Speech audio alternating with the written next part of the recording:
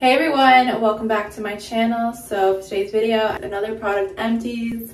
I haven't been doing this as much because I haven't been going through as many products. And also since I decided to stop sharing like repetitive things, I feel like I'm always using the same stuff. So a couple videos ago, I said I just wanted to share really like new products that I haven't mentioned before. And I think for the most part, I have all new products. So I'm excited to talk about them and just give my opinion. So let's get started. So I'm gonna start off with the hair product first. This is from Hask Beauty. This is a coconut oil 5-in-1 leave-in spray. I think I talked about this in an Ulta haul. And at first I wasn't too sure how I felt about it, but I actually really like it and I bought a new one you know. It's meant for nourishing and detangles your hair. I kind of just like to use it if, and if i have any flyaways or sometimes before going to the gym if my hair is looking really dry from just sleeping and i haven't showered yet i like to just spray it to like revive my curls. But yeah i really like it. The scent isn't too bad. There is a little bit of like the coconut type of smell. I think it works really well and it doesn't give like a greasy type of look either. And it doesn't make your hair like crunchy or leave any type of white cast that like hairspray does. So this I did mention I think on maybe a product empties for the conditioner. So I finally finished the shampoo and this is mixed with a body wash. I really like this. I felt like it made my hair really nice and moisturized, soft. And another thing that I like about this, a lot of the time I've seen, I know like Kourtney Kardashian talked about like, shampoos that you use can affect getting pimples and stuff on your back. So I feel like it's really good though that you can use this as a body wash because I feel like it will prevent that from happening because you can use this all over. I would repurchase this. I don't want to spend a crazy amount of money on shampoo. I tend to wash my hair every day or every other.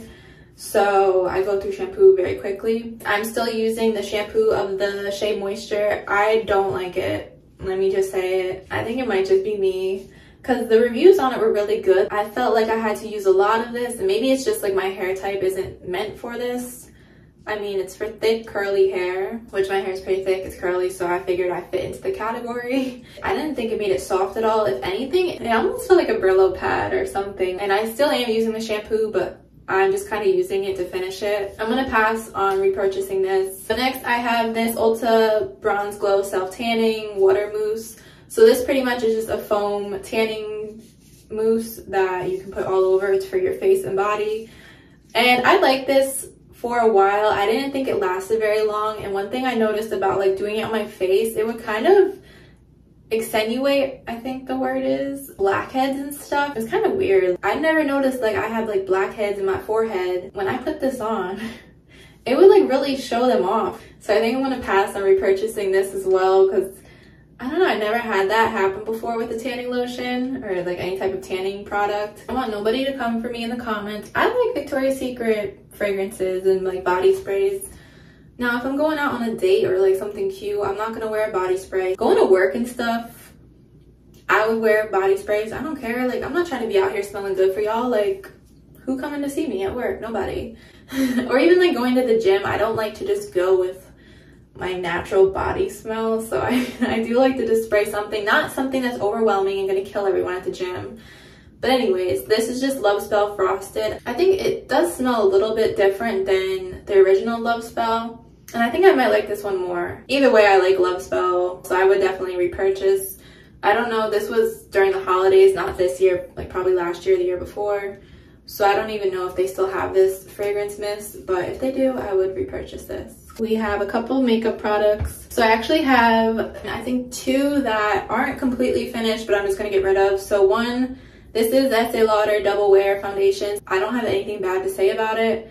The main reason I had purchased it, I think I was watching like a couple years ago, Casey Holmes, she's a YouTuber. She was always using this foundation. It looks so nice on her, which it does look very nice. Honestly, the only reason I'm getting rid of it is because I probably got this like three or four years ago. It's really old and I really just didn't use it because I never am one to use a foundation. I just kind of like to spot conceal anymore. I want to say I got it my freshman year of college, maybe my sophomore, and that's already been like five years, if that. So I'm gonna get rid of this, but it's a really good foundation though. Another thing that's not completely finished, this eyeliner from L'Oreal. This is really old. I don't even know if they still have the Silkissime eyeliners. I tried putting this on my waterline, which I probably shouldn't have because it's so old. The reason I've had this for so long is because I knew that I didn't like it. It always irritated my contacts. And I tried using it today and it's just very soft at this point, the eyeliner itself. So I don't know if it's because it's so old or what. But I'm just going to get rid of it. Honestly, it's always irritated my eyes. I don't know why I've held on to it. But I did like the black one. The Silkissime black one was so nice. But this one, I don't know, there's something with the product just never was right. Two lip glosses. So one, this is from Essence Shine Shine Shine. I get so excited when I finish a lip gloss. Do you guys see that? Like there's a little bit at the bottom, but I, I get kind of grossed out once I'm gonna show you why I got grossed out. This is just their clear gloss. I don't know what the shade is, but this is so pretty. I already have a new one. I'm wearing it today. It's not sticky, it smells nice. Definitely recommend, and I will continue to repurchase this. The reason I got grossed out is because, okay, there's a little bit at the bottom, but like what is, what is in the bottom there? What was on my lips that I was putting back in there? This is the Bratz and Makeup Revolution collab that came out a couple months ago. This was a huge lip gloss. I was putting this on like multiple times a day. And I'm gonna pass on repurchasing this. It was a clear like plumping gloss and there's nothing wrong with it. I don't really know why I'm not gonna repurchase. It wasn't as bad as like the Too Faced plumping, what is it, lip injection that's on another level. This only like it tingles a little bit and it's not, it's like almost a minty tingle on your lips and that's it. I have other lip glosses I like. I don't need another clear gloss when I love my Essence one. Just something random. Like a lot of the product did get wasted because it would just come drooping down the sides. So that was something I didn't really like about the applicator and stuff, but it's not bad.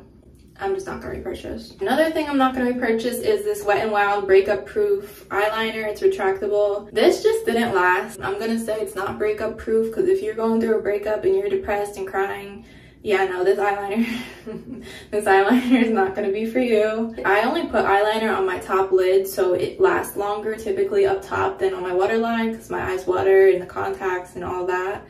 So for this not to last on my top line, I feel like just is not good. I'm gonna pass on this. It's obviously affordable, but it's not worth it to me. I'm sure I've mentioned this, but just gonna briefly go over this Makeup Revolution Conceal and Define Concealer. I absolutely love this concealer. I love the coverage. It's not extremely cakey. It blends out very nicely. This is probably like my second or third one, but I just love this so much. It's affordable get it at Ulta. The Tarte Shape Tape, they had us in a chokehold for a long time. I like it. If it wasn't so expensive, I probably would repurchase. What is it, like $20 or something? Why, why do I feel like it's $29?